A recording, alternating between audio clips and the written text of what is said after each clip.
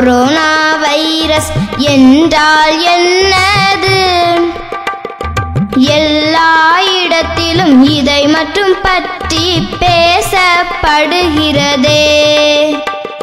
சீனா நாட்டில் முதலில் தொடங்கி உலகெல்லாம் பரவி உயிர்களை கொன்று குவித்தது இந்த கொரோனா வைரஸ்.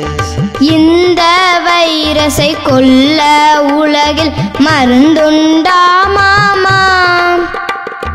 இதுவரை எந்த நாடும் மருந்தை கண்டு பிடிக்கலையா உலகில் உள்ள மருத்துவ நிபுணர்கள் இதற்கான மருந்தை இரவும் பகலும் இடைவீடாது ஆராய்கின்றனரே சீனாவில் தோன்றிய இந்த வைரஸ் எப்படி இங்கு வந்தது? நாட்டை கடந்து நம் நாட்டிற்கு வந்ததன் காரணம் சொல் மாமா. வைரஸ் தொற்று கொண்ட வெளிநாட்டினர் நம் நாட்டுக்கு வரும்போது அவர்கள் மூலம் அடுத்தவர்களுக்கும் வைரஸ் பரவியதே. கொரோனா வைரஸ் எப்படி எல்லாம் பரவுகிறது மாமா?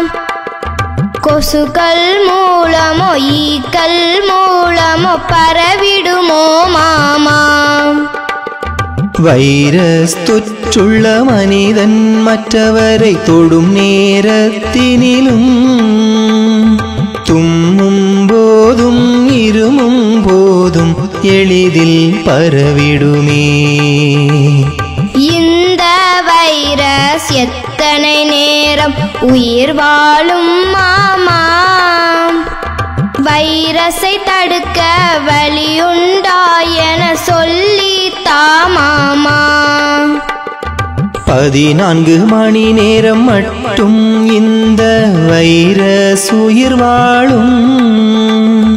ஒருவரை ஒருவர் விலகி இருப்பதால் மட்டுமே தடுத்திடலாம் பிரதமர் மோடி ஊரடங்கு உத்தரவை எதற்கு அறிவித்தார்?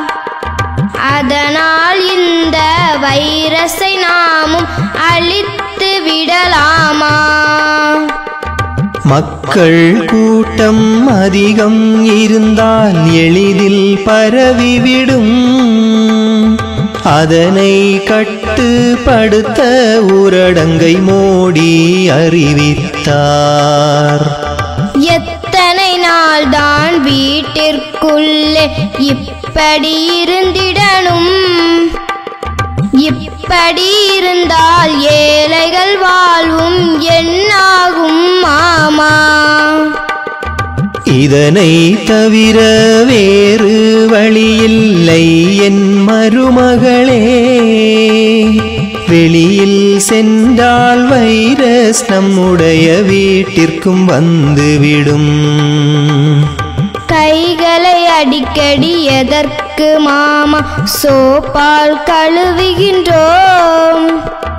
அதனால் என்ன பயனுண்டென்று சொல்லி தாமாமா கைகளை சோப்பால் கழுவும் போது வைரஸ் அழிகிறது அடுத்தவர்க்கு வைரஸ் பரவ விடாமல் தடுக்கிறது. அரசு சொல்லும் விதிமுறையை நாம் கேட்டு நடந்தாலே கொரோனா வைரஸை நாட்டை விட்டு விரட்டிடலாம் தானே. கண்டிப்பாக அரசுக்கு நாம் ஒத்துழைப்பு கொடுத்தால் மென்மேலும் இந்த வைரஸ் பரவலை தடுத்து நிறுத்திடலாம். பாவம் மருத்துவர் ஊழியரெல்லாம் நமக்காய் உழைக்கின்றார்.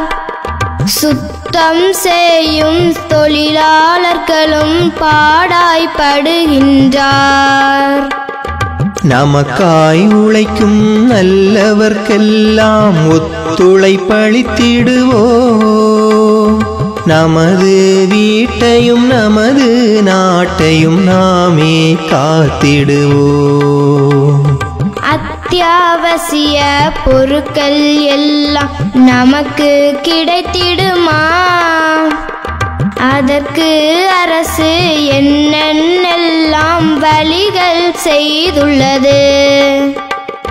மக்களை காக்க அரசு எல்லா நன்மையும் செய்திடுமே.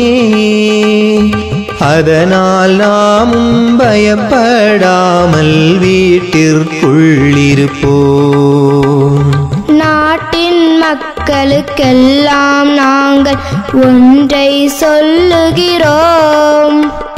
பாட்டின் மூலம் எங்களால் முடிந்த விழிப்புணர்வை கொடுப்போம். பாட்டின் மூலம் எங்களால் முடிந்த விழிப்புணர்வை கொடுப்போம். பாட்டின் மூலம் எங்களால் முடிந்த விழிப்புணர்வை கொடுப்போம்.